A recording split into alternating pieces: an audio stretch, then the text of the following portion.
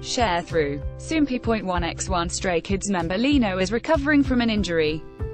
See also, Music Bank, announces 20th anniversary episode with various special stages on July 3. JYP Entertainment revealed through an official statement, Stray Kids Lee Know will not be participating in the KBS Open concert schedule on July 7 due to health concerns.